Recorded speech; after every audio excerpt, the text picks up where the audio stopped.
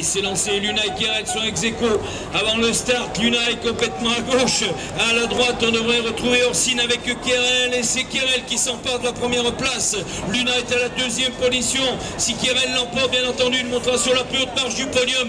Luna est toujours à la deuxième place. On retiendra Pasquet, Tristan, Vitrol, troisième position. On va aborder la mi-parcours avec Luna qui lance l'attaque. Il est rentré dans l'inter. Et le pilote de Chameuil va peut-être remporter la victoire. Égalité parfaite.